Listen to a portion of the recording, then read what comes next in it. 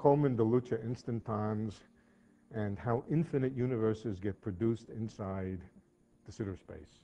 I think that's what we're talking about. May mean, those words may mean nothing to you, but hopefully uh, after a little bit, they will mean something. Um, let me preface it by saying if you asked people what the standard model of cosmology is, oh, I don't know, 15, 10 years ago, uh, they probably would have said a closed and bounded universe. They might have included inflation and a few other things, but they most likely would have focused on the closed and bounded, you know, the spherical universe, the expanding balloon.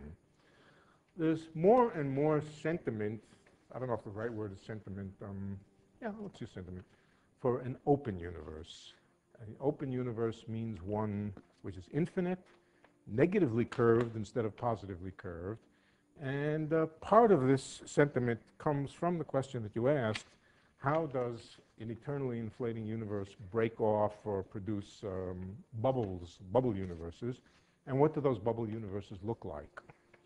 What, they, what do they look like from the inside? That's more important to us than what they look like from the outside in a sense. Okay, um, let, uh, let's begin with de Sitter space. First thing is de Sitter space is the solution of Einstein's equations. It's a unique solution. Well, no, no not quite unique. It's um, a special solution that's associated with a positive cosmological constant. Okay, now cosmological constant just means vacuum energy. Uh, uh, that's the metric of space-time, ds squared. Okay, because of the properties of special relativity, blah, blah, blah, it begins with a minus sign, dt squared. And then if we were just in flat space, we would just write plus dx squared, plus dy squared, plus dz squared, and so forth. In FRW universe, we can imagine that space is itself not flat, but um, positively curved, let's say a three-sphere. Okay, so that means we should add a three-sphere into here. So let's add a three-sphere. Um, the metric for a three-sphere, I will write it out in detail. Here it is. That's it. Okay? And it just stands for the unit three-sphere. Unit, I mean the three-sphere of unit radius. But in cosmology, the radius of the universe is not expected to remain constant. It's expected to be a function of time. So there's something called a scale factor. Okay, uh, this I suspect is uh, familiar to a good fraction of you. And this is called an FRW, Friedmann, Robertson, Walker, Lemaitre, and how many other people I don't know, Turok uh, universe.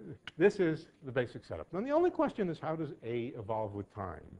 And that depends on the equation. Well, there's an equation of motion for A, this is geometry, so the equations of motion for A are the general theory of relativity. But when this form is plugged in as an ansatz for a solution, the equations of general relativity simplify, and you just get the following equation, A dot over A squared. You can think of this as the rate of expansion. It's the time derivative of the scale factor divided by the scale factor, so it's a rate. Uh, the rate of expansion is equal to the, there are some numbers, 8 pi g over 3, but uh, anybody mind if I use units in which 8 pi g over 3? There are units in which 8 pi g over 3 is equal to 1. They're called Planck units. Uh, so let's just uh, call, it, call it 1. Eight, uh, the energy density, let's call it rho on the right-hand side, and then there's a term which comes from the curvature of space. Curved space can either be positively curved, like a three sphere, like a three sphere. It can be negatively curved, or it can be um, flat. Let's take the positively curved case, which is uh, which is this case here. Then there's a minus one over a squared here. This comes from the curvature. If it is negatively curved, this comes with a plus sign. And if there's no curvature of space, space, space when I say space, I mean space, not space-time. If space is itself flat, in other words, a rubber, an expanding flat rubber sheet, then this isn't there. If space is positively curved, it comes in with a minus sign. If it's negatively curved, it comes in with a plus sign, which is infinitely confusing. Uh, okay, so now, um, typically rho, the energy density, is something which changes as the, this is called the scale factor, of course, A. As the scale factor changes and grows, the energy density changes with time, generally. Energy gets diluted, so as the universe grows, typically this would, uh, would decrease except in the special case that we're talking about vacuum energy. Vacuum energy is the energy that's stored in empty space. Well, let's go back for a second. Uh, rho will in general depend on A. You can plug in its A dependence, and here's a differential equation for how A varies with time. Uh, but um, let's, uh, let's concentrate now on, on cosmological constant kind of energy, just empty space energy, vacuum energy. Let's put lambda here. And instead of calling it lambda, I'm going to call it h squared.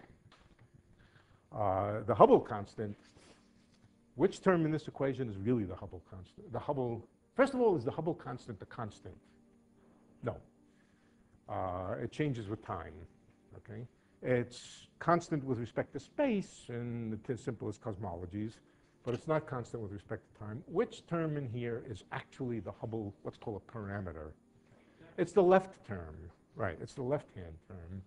A dot over A is the definition of the, the rate of expansion, but still, the right-hand side here, the, cosmological constant is often written as h squared. It would be the same when A gets very big, right? When A gets very big, it would be the same. Okay, let's, uh, let's, let's, and I'm going to assume that, uh, as indicated by the equation here that the cosmological constant is positive. If it were negative, you'd have to put a negative thing in here. All right, so it's positive h squared. Let's first solve it in the limit that the universe has gotten very big, in which case a, 1 over a squared is very small.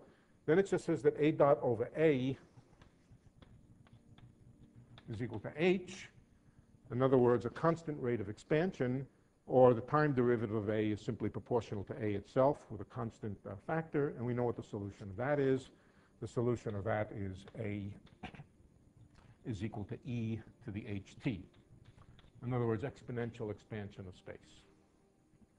Exponential expansion of space is the characteristic of, first of all, inflation. It's the characteristic of accelerated expansion in the current, uh, current era. Uh, and it's also the characteristic of de Sitter space. The solution of this equation is just called de Sitter space. And as we see, in the limit that de Sitter space gets very, very large, it will be exponentially expanding. Uh, this doesn't quite make um, dimensional sense. From this formula here, A has units of a length. The HT is dimensionless. To make it uh, dimensionally consistent, we could put a factor of h in here, uh, but uh, it doesn't, it, it's not very important. Okay, what about, what happens when we include this term? Well, the a, instead of being e to the ht, becomes hyperbolic cosine of ht. So the exact solution of this equation despite the fact that I'm probably getting it wrong uh, in detail, it is the exact solution. 1 over h, I think it's actually right, hyperbolic cosine of ht. In the limit of large t, when a gets large, this is just exponential expansion. This is called de Sitter space. Okay. It has the character of being a contract, at, at first it's contracting, okay, cosh for large negative times is contracting, cosh is decreasing, and then it achieves a minimum at which cosh is equal to 1, and then it starts to grow. So it's a space-time which looks sort of like this. It's a bounce. It's a bounce, and at the waist here, at the waist of the bounce, the minimum, um, a, that's t equals 0, a is just equal to 1 over h, inverse of h. So another way of thinking about H is it is the, uh, the minimum size of the de Sitter space sliced along the minimum uh, um, surface here. Okay, that's, uh, that's one way to think about de Sitter space. Okay, so next is the notion of a Penrose diagram. Now, a Penrose diagram, first of all, it's mostly useful for spherically symmetric geometries. Okay, you can think of it sometimes uh, for non-spherically symmetric, but let's concentrate on spherically symmetric geometries. And let's start with flat space-time. Uh, if I wanted to draw flat space-time on the blackboard here, I would put, and, and assume it's spherically symmetric, I would put a time axis in, and I would put a radial axis in. The radius, by definition, is positive, and then I would have to remember at every point in the space-time, there is also a hidden two-sphere, okay? Just the two-sphere uh, that you see around you at distance r. So there would be r, t, and the hidden dimensions would be a two-sphere at every point in space, and it would be a, a, a two-sphere of constant, well, it would be constant in time, but it would be bigger and bigger as you went out. It's just, it's just polar coordinates. And uh, spatially, it's just polar coordinates, spherical polar coordinates. So at every point, there's a two-sphere. This is not a Penrose diagram. This is just a, uh, a depiction of flat space-time having um, suppressed the angular dimensions, angular directions. Okay, if we go out, oh, here are lines of constant time equally spaced. Lines of constant radius go this way, also equally spaced. And now some definitions. Uh, no, the definitions only come after we define the Penrose diagram. Okay, um, what, what is a Penrose diagram? Penrose diagram is just a trick. Oh, no, no, come back. What about light rays? How do light rays, radially moving light rays, light rays which are projected at the origin from far away, how do they move? They move on 45 degree angles. So they come in like this, bounce off the origin. Well, they don't really bounce off the origin. They just go through the origin, but having gone through the origin, they come out, begin at positive radius, and they go back out. All light rays enter at 45 degrees and go out at 45 degrees. Incidentally, if the light ray doesn't go through the origin, here's the origin, a light ray comes in at a finite impact parameter. Everybody know the word impact parameter? It just means the amount that the light ray misses the origin. Then the figure is pretty much the same. All right, the figure is pretty much the same, except instead of hitting the origin, you come in, you get to some minimum distance, and you go back out. So a non-radial light ray would look like this. But asymptotically, it looks exactly the same. So one can say asymptotically, light rays come in at 45, they go out at 45. Space-like trajectories are horizontal, space-like slices, time-like uh, axes are vertical.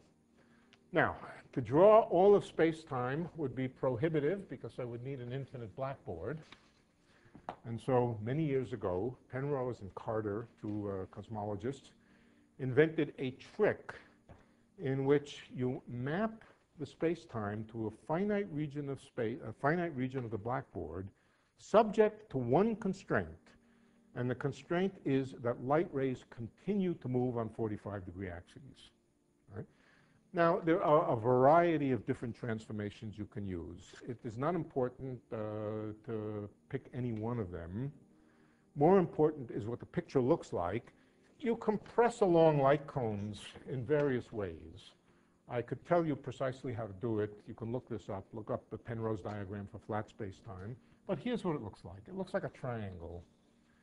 And more than giving you the details of the coordinate transformation, let me just plot what these various things, what these various guidelines look like when transformed to here. First of all, all space-like trajectory. These are not space-like, these are not trajectories, these are planes, uh, hyperplanes. But going out along a line of constant time, right, here's time. Since there's an infinite amount of time, time better bunch up as you get closer and closer to the edge of this, and it does. Okay, the space-like uh, lines of constant time look like this. And as I said, they bunch up as you get near the extremities of the Penrose diagram. Next, the lines of constant radial position. They go up to the tip here, and they look like this.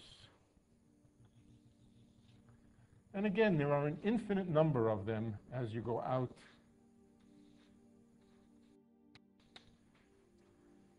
So I, I leave it as an exercise to find the transformation or to look up the transformation, and there are many of them which, uh, which carry out this particular mapping. This kind of mapping is called a conformal mapping. Not important why it's called conformal. It just preserves 45 degree lines. So anything which is 45 degree on that is also 45 degree on here. That's the rule. Okay, that's the rule, and it can be done. That's the important thing. All right, what is this point? Some definitions. This point, which is just a point where all space-like surfaces converge, they don't really converge, but on this picture they converge. This is called r equals infinity or space-like infinity. That's called space-like infinity. This is called future time-like infinity, and it's the place where all time axes go to. Future time-like infinity, t equals infinity. We can just simplify it. This is called t equals minus infinity, or past time-like infinity. And these lines these are the places from which light rays come in or go out. So light rays which are oriented toward, which are um, projected toward the origin, come in, bounce off the origin, and go out. You Can also miss, oops, that, that did miss the origin, I didn't mean to.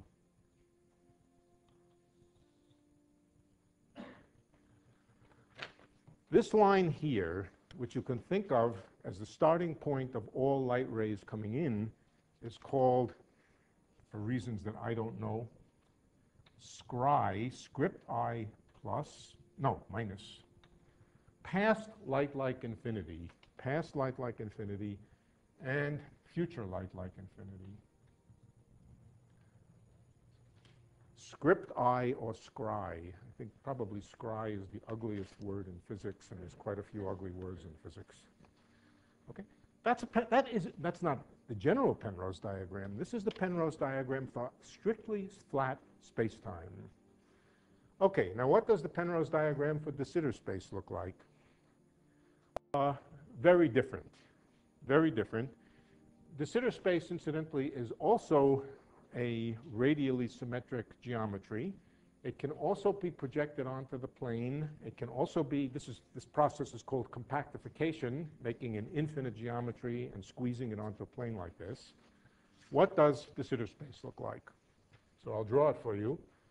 Um, but before I do, let me draw, let me go back to this hyperbolic geometry.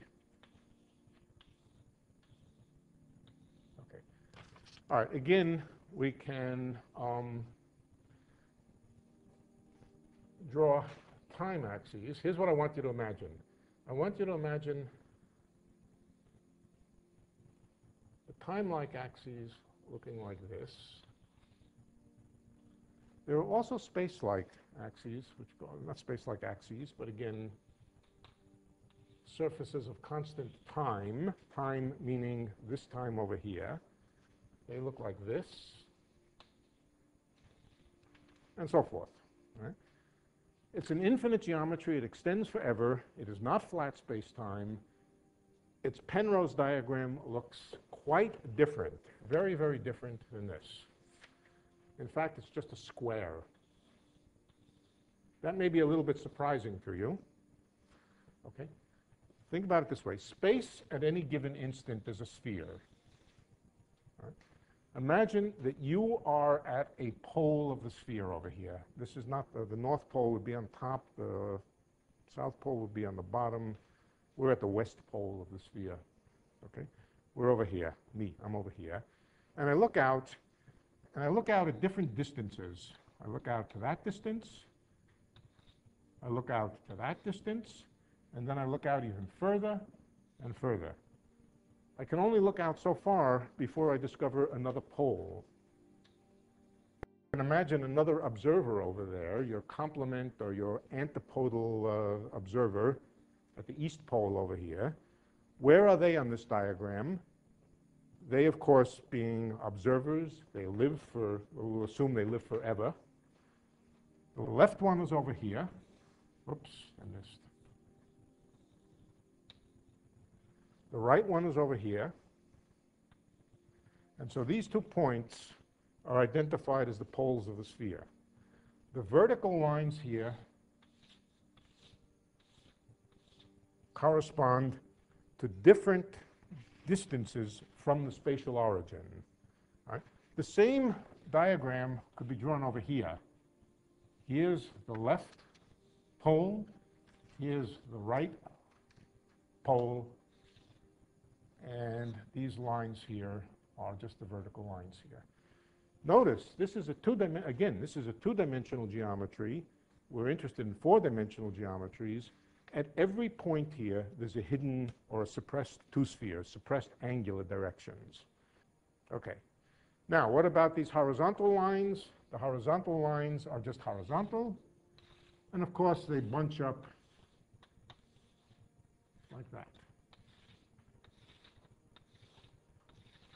Again, the diagram is drawn in such a way that radial light rays, now a radial light ray mean, means one that comes in and would pass through the observer at the origin here. Radial light rays, again, are 45 degree uh, lines. But now, now they don't come in from a light-like surface like this. They come in from past infinity. Let's see, this, this, this has a name. Um, you know, just past infinity. And here's future infinity. Okay, past infinity, future infinity, uh, the left pole of the sphere, the right pole of the sphere. And of course, the choice of poles is completely arbitrary. You can turn this around and put your observer wherever you like, but this is the Penrose diagram. Okay, so this is light rays. Light rays move, come in from here.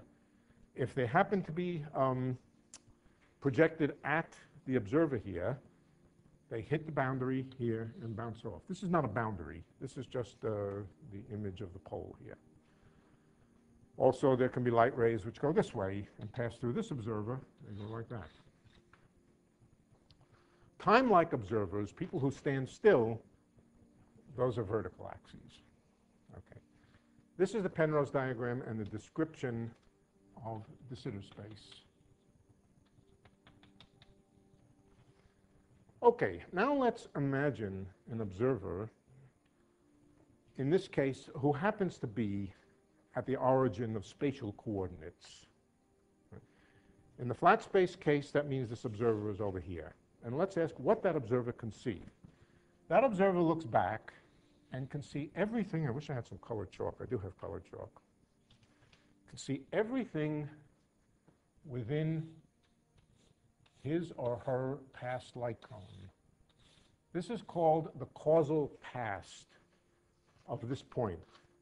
Now, as time goes on, the observer, of course, gets later and later, his watch gets later and later, and he looks back, and eventually, given enough time, he or she will see the entire space.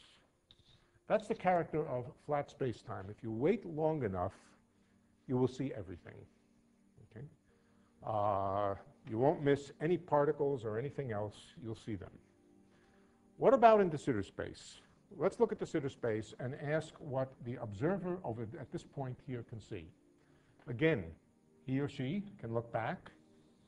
Oops, that should have gone through this point here. That observer can see everything in here.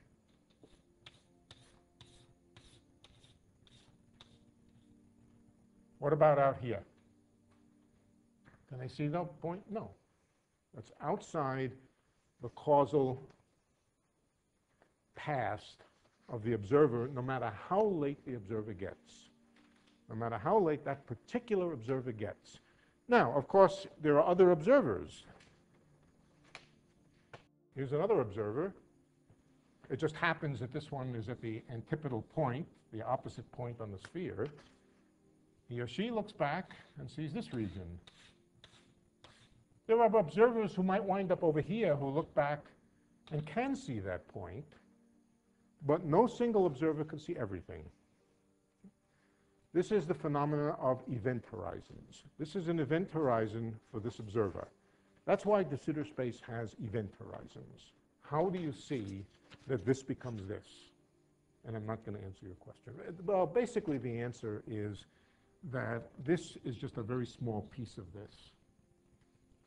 All right, to see that, um, okay, as long as there's a finite h, space-time is never flat. Just like if the Earth, no matter how big the Earth is, if the Earth is as big as it is, and we stand six feet above the, the sea level, we look out, there's a horizon. And the horizon happens to be about three miles away. As the Earth gets bigger and bigger and bigger, the horizon moves out, and eventually the Earth becomes flat. But it doesn't become globally flat. Small little piece of it is flat, and the same thing is true here. Um, this de Sitter space never becomes globally flat space-time. It always looks different, but you can ask, how about a small piece which is much smaller than the inverse, h is basically the inverse radius of curvature. And it would just correspond to a, uh, to a small piece of this. So it would be sort of zeroing in and focusing on a small piece. But uh, globally, the space never becomes flat as a, as a global construction. Okay, um, let's see. Where were we? We were at the idea of event horizons. This is an event horizon. De Sitter space has event horizons. There are places which we just can't see. And we will never be able to see, no matter how long we wait, we'll never be able to see this uh, question marked uh, position, space-time position over here. Things, and um, incidentally, from everything that is known from the cosmology, I mean observational cosmology of the last 20 years, we at present appear to be in the late stages of a, well, in the, sorry, in the middle stage, tending toward this kind of de space. There, of course, are other terms in this equation associated with other forms of energy density, but they all dilute away with uh, radiation, matter, all those things dilute away. And so at late time, if there is a cosmological constant, this dominates, and this picture at late times is what our universe will look like. So in fact, we are in a world that has an event horizon.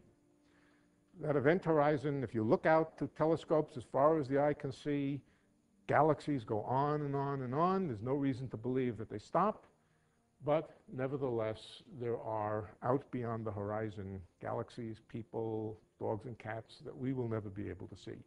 The question is an interesting question. Are these proper uh, things for, for scientific purposes to talk about? And I'm going to leave that because I'm not going to try to answer it. But um, this is the character of the space-time that we live in. But uh, the question, all right, now we've set up I, I told you, you got to wind me up, and I'm, you did. Um, let's come now to this question of, uh, of bubble nucleation in de Sitter space. Okay, so let's make a model. We'll make a model and discuss the model a little bit. Uh,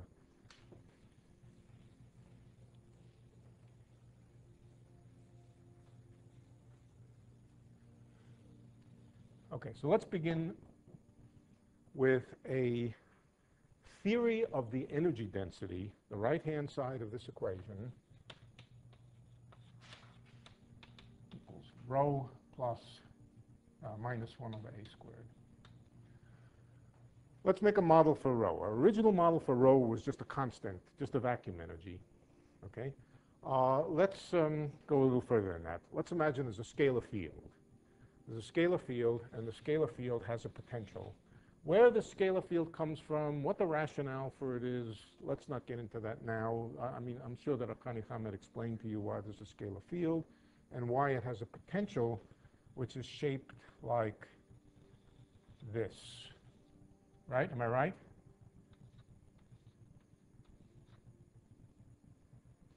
Of course he did. Okay. Now, imagine the universe got this, of course, is the potential energy as a function of a field, phi. This is phi. This is the potential energy via phi. There's also kinetic energy. If I wanted to write this in detail, I would write, um, I would write the potential energy plus the field kinetic energy, phi dot squared over 2. And let me assume that uh, everything is homogeneous, that things don't vary from place to place. Homogeneous cosmology, then there would be no gradients with respect to space. This, of course, is just the kinetic field energy, phi dot squared over 2.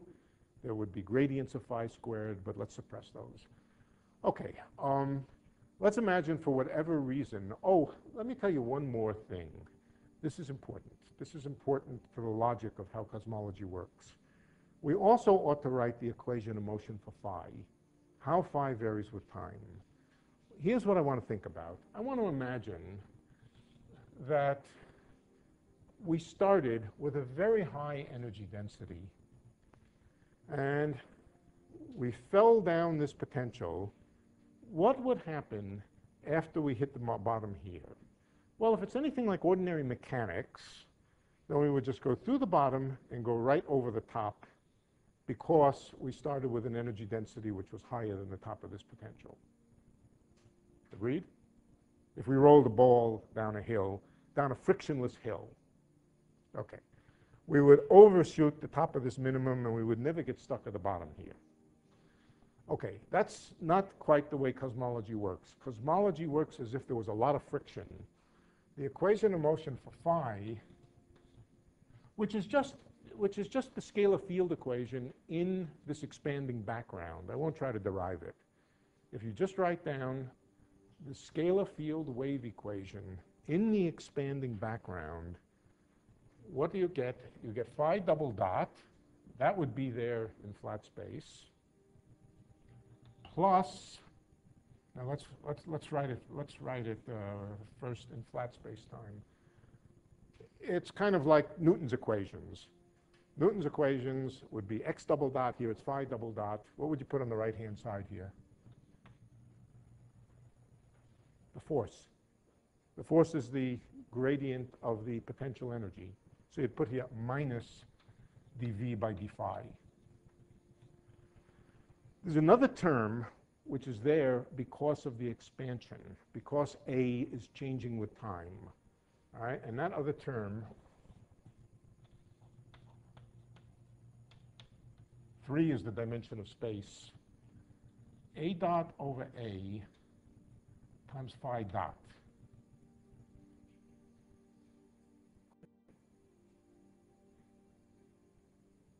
I thought I heard a question, but I guess I didn't. All right, this is what you will get if you feed into the scalar field equation the metric of this, um, of an expanding universe, of a Friedmann-Robertson-Walker metric.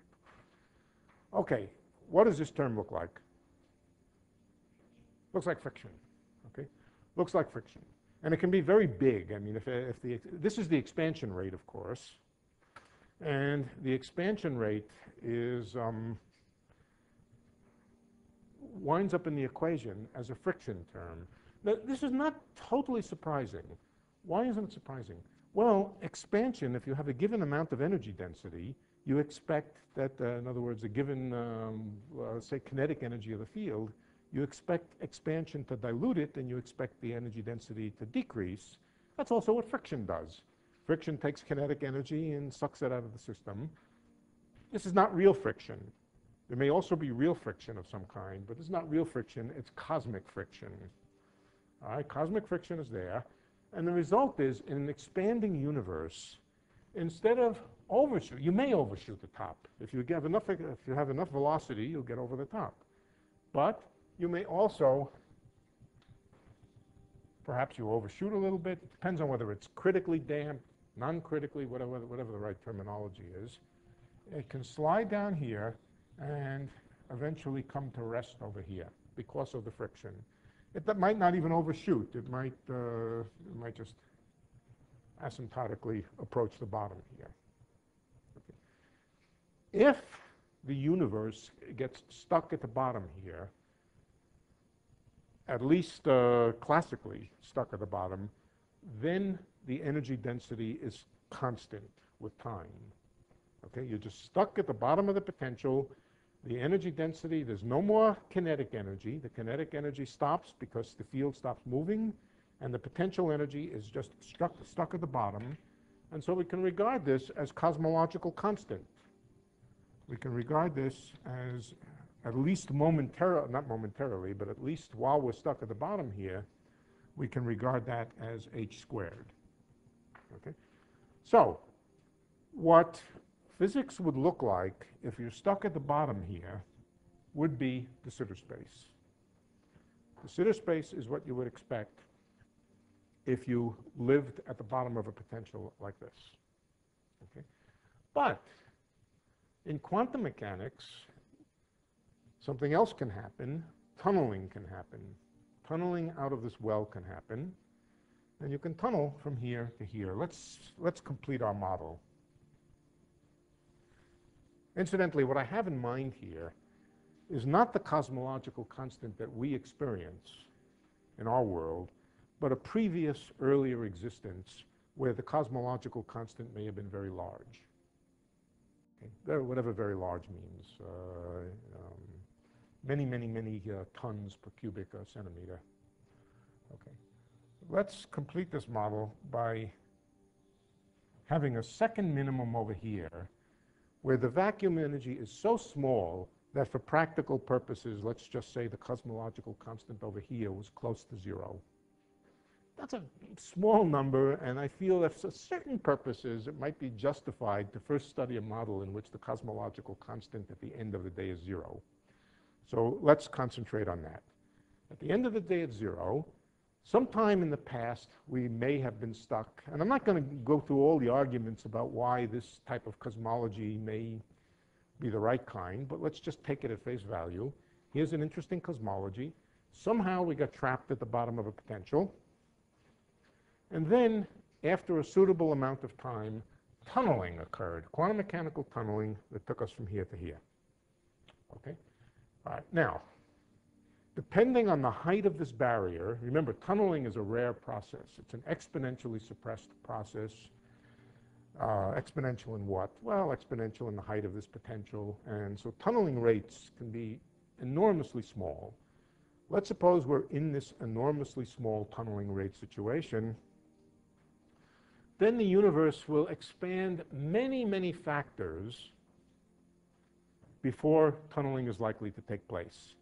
Given enough time, everything will happen. So given enough time, with probability one, you will tunnel out of this well, but the rate of tunneling may be very small, and so on the average, it might take a lot of time for the quantum mechanical fluctuations to cause, uh, to cause uh, tunneling to take place. Okay, so let's suppose that that is true, that it takes a long time. By that time, the universe has grown exponentially to enormously large proportions.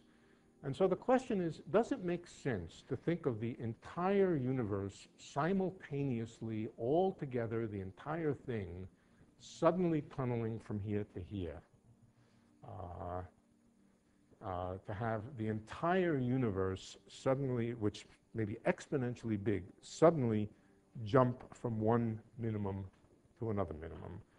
What does happen is that small bubbles, a small bubble might form, and that small bubble having small bubble form with the properties associated with this minimum, and that small bubble may or may not start to grow depending on how big the bubble is.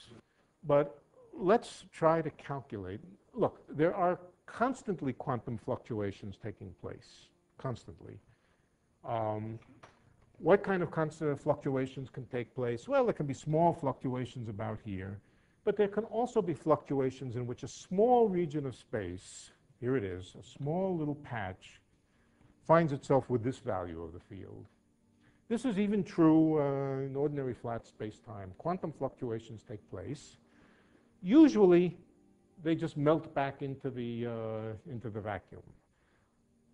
I claim, and we'll try to calculate it, that if this bubble is big enough, that it will start to expand. So it's kind of fun to try to estimate how big the bubble has to be in order that once it forms, accidentally by quantum fluctuations, it will then begin to expand.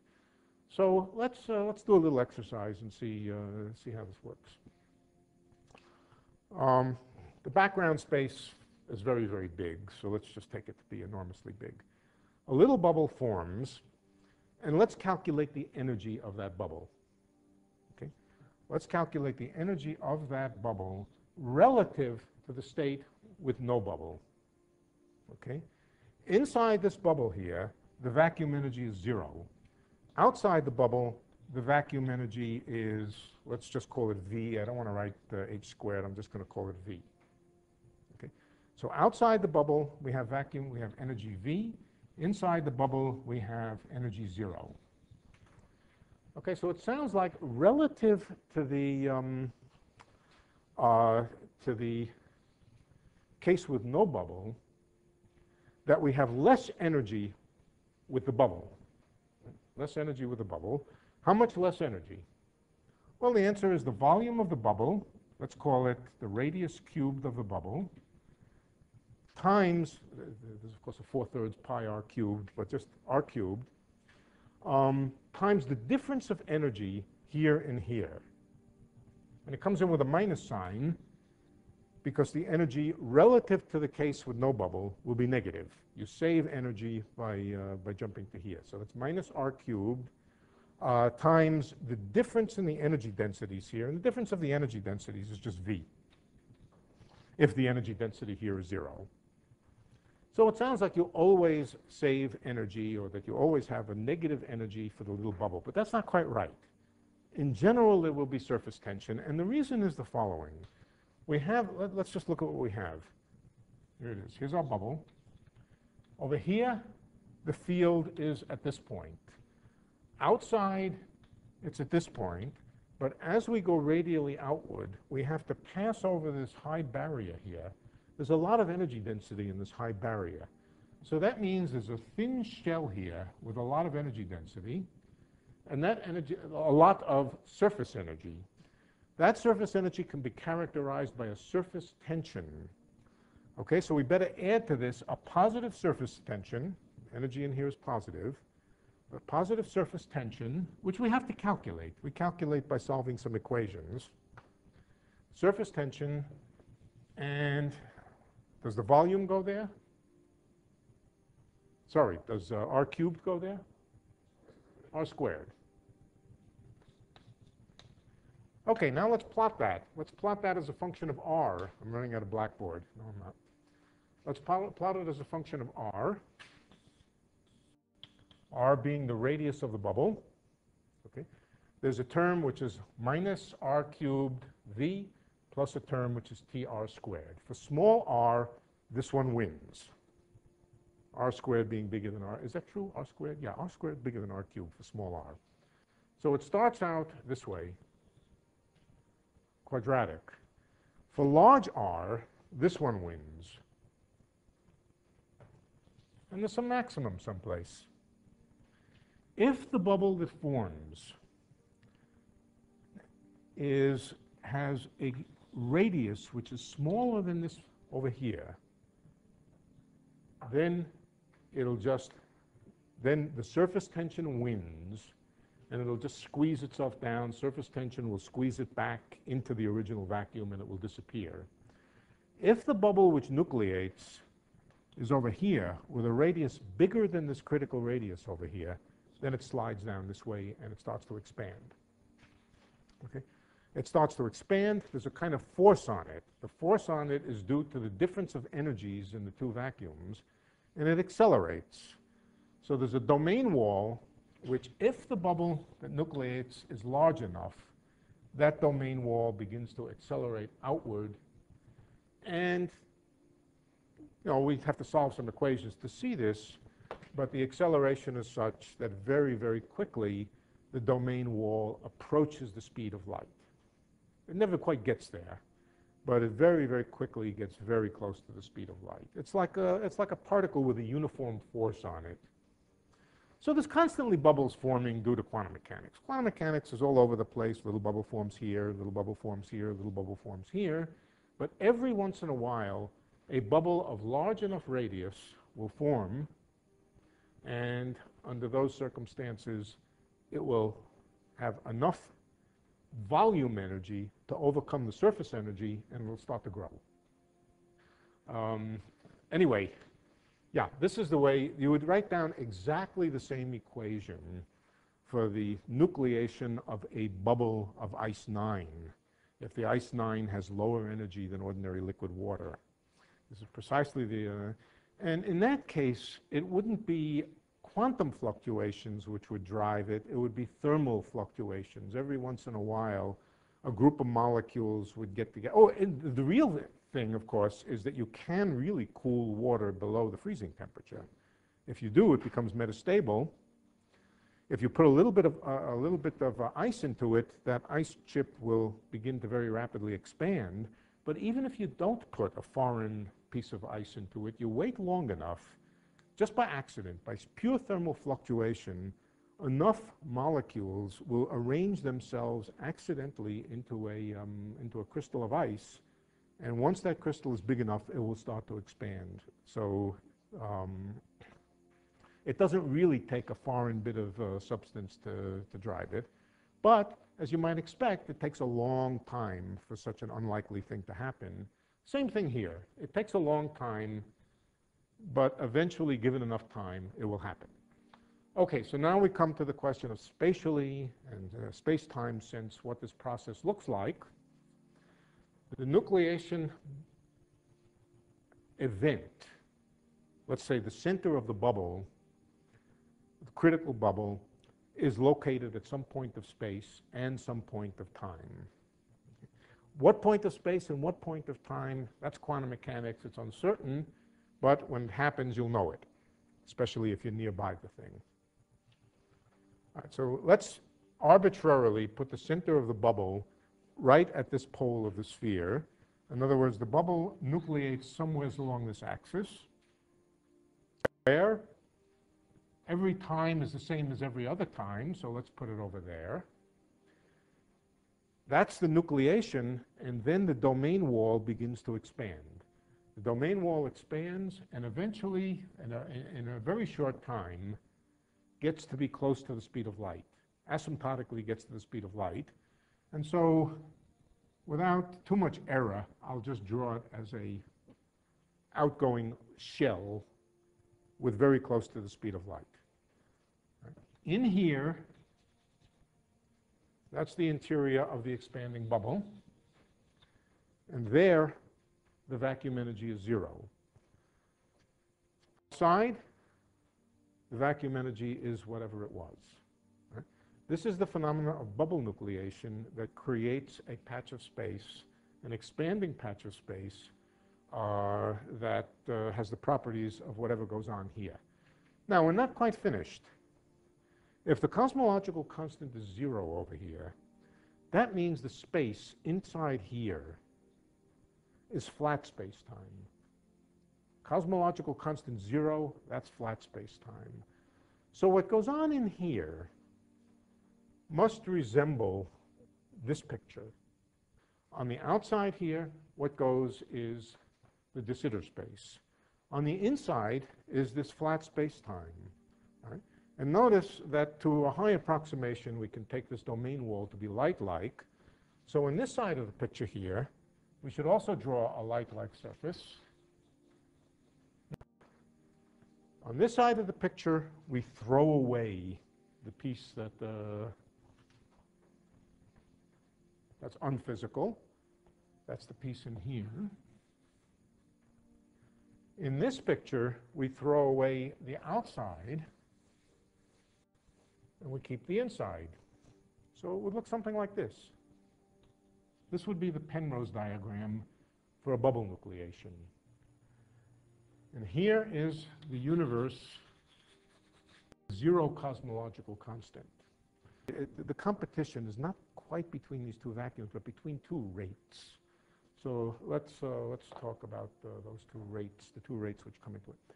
If we were talking about condensed matter and we had an infinite sample of metastable water, there wouldn't just be a single bubble nucleation, but if you go out far enough, there'll be another bubble nucleation, another bubble nucleation somewheres, and eventually they will all expand and come crashing together. And when that happens, the entire sample, the entire infinite sample, will find itself in the, um, in the stable phase. Right? It's not just one bubble that expands, but depending on the decay rate, you may have to go out a zillion miles before, the, uh, before you find another bubble expanding, but sooner or later you'll find another bubble expanding, okay? That's, uh, that's different than what goes on here. And the reason is because in this vacuum here, it's inflating, exponentially expanding, okay? So the exponential expansion, which takes place here, means that if another bubble forms, let's say a bubble forms over here, The region in between is exponentially growing. And for that reason, this domain wall may never catch up to this one. And the region in here will stay an inflating region. If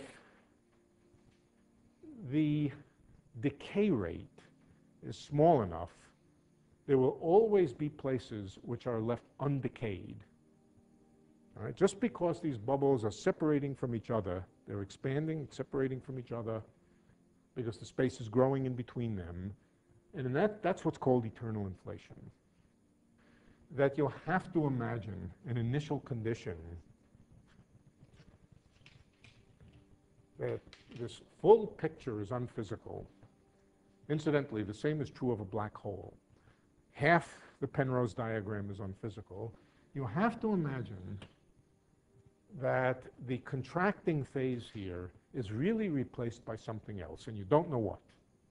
this is a point that's been made over and over by Alan Guth and other people, that um, this de Sitter region here still necessarily needs some kind of initial starting point that's outside the range of these considerations. So we first throw away this. We first throw away this. Don't ask why, but we had better throw it away. Otherwise, our universe would have decayed in the remote past. And roughly speaking, you can imagine starting at the center of the waist here. Okay.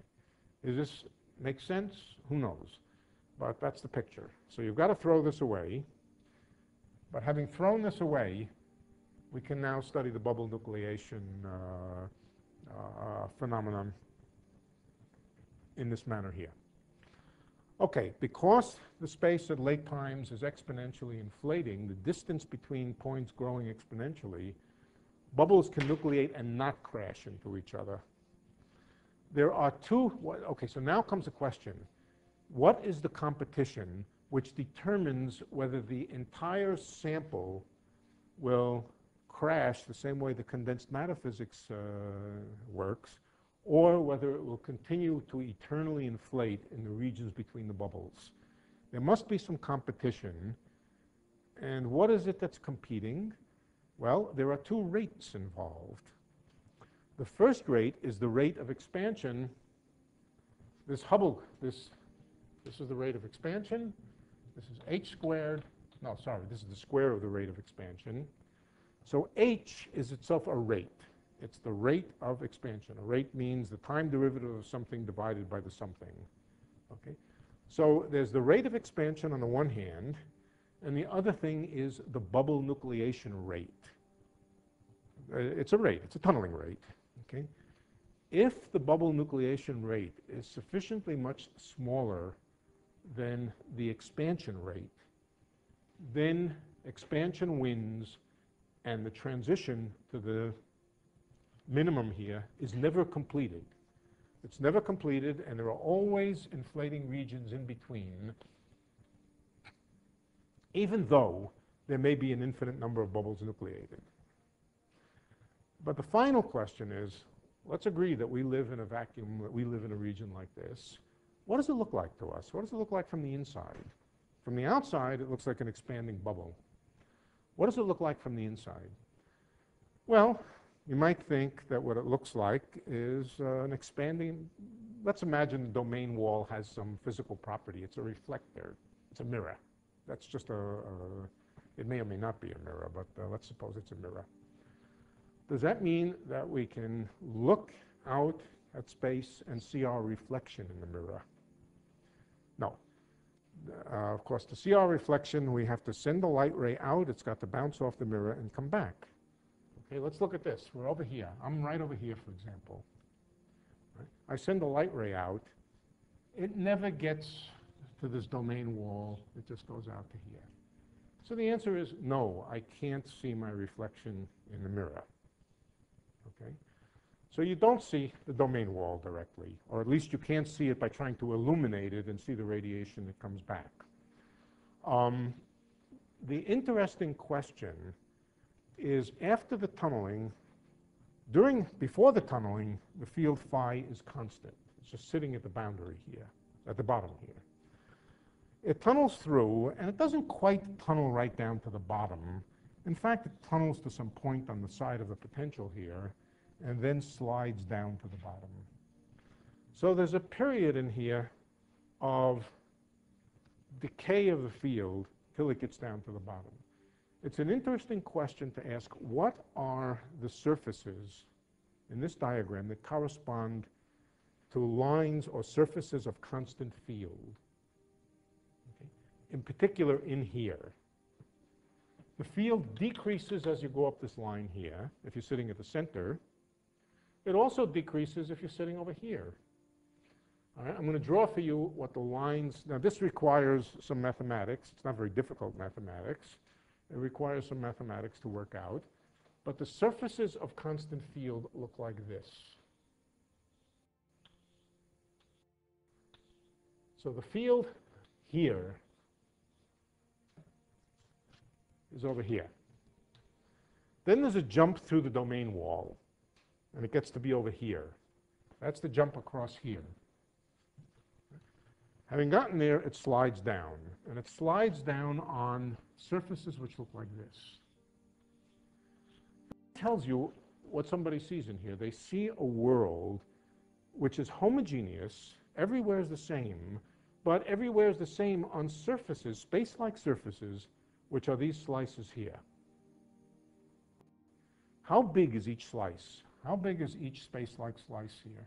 Is it finite? Is it infinite? Well, for that, you have to remember what happens up at t equals infinity here. What happens to the metric at t equals infinity? It exponentially gets big, right? Exponentially diverges. So the metric up here is exponentially big, and in fact, it's got to be continuous through this junction here. So as you ride along one of these space-like surfaces here, the metric bigger and bigger and bigger. And the space-like surface, the space-like distance from any point to the boundary here is infinite. Okay. The geometry inside this bubble is not a closed universe, but an open universe. An open universe with hyperbolic, negatively curved space. Right? It's infinite. And so the observer inside this bubble even though he's inside what at any given instant is a finite, any given instant from the outside, from the outside we draw some instants, and we see at any time the bubble is finite, although it's growing, the observer on the inside, what the observer on the inside reckons as time, is these surfaces of constant field. He or she says the universe is infinite. It's infinite, open, negatively curved Friedmann-Robertson-Walker universe. So this is a peculiarity of this kind of bubble nucleation that it inevitably leads to a world uh, which is not the old-fashioned kind of balloon world, but uh, the negative curved version of that, in which space is infinite, negatively curved, sort of a saddle surface that goes forever and ever, saddle surface being the negatively curved surface. Okay, first of all, back off a minute there are three possibilities for ordinary Friedmann, Robertson, Walker cosmology. Right? There is positively curved, negatively curved, and zero curved. Those correspond to three Newtonian situations for, for uh, stuff flying out from a center. What are the three uh, situations? The three situations are any point relative to the sphere of material inside that point can either be at greater than, less than, or equal to the escape velocity. If you're above the escape velocity, everything just continues to go out. If you're at the escape velocity, you asymptotically slow down, the universe asymptotically slows down, and, uh, but still logarithmically continues to expand. If you're below the escape velocity, then you crunch. Okay. Um, those are the three possibilities. Now, what do they correspond to in terms of general relativity? They correspond to the closed spherical universe, the spatially flat universe, not space-time flat, but spatially flat, and the uh, hyperbolic negatively curved universe. Right? This is a hyperbolic negatively curved universe, and it means, in effect, that everything is shot out with greater than the escape velocity. Okay, now that's fine except for one thing. If you're too much above the escape velocity, even patches of space will not turn around and form galaxies. Okay? So having too much of this negative curvature will simply wipe out the ability of the primordial, very, very small um, density inhomogeneities to turn themselves around and form galaxies, to form structures, planets, galaxies, and so forth. Uh, so somehow you have to get rid of that negative curvature before structure formation happens. How do you get rid of curvature? By inflating. You inflate away curvature. So one might say that, well, there's a zillion, zillion, zillion different vacuums. Some very, very small fraction of them might have plateaus like that. But in order to have structure formation, in order to have planets, galaxies, and so forth, we might as well focus on the vacuums which have this kind of plateau. That's a logic. Whether it is the right logic, uh, well, I think it is, but, uh, uh, but you know, there's, there's plenty of dispute about that. But no other explanation.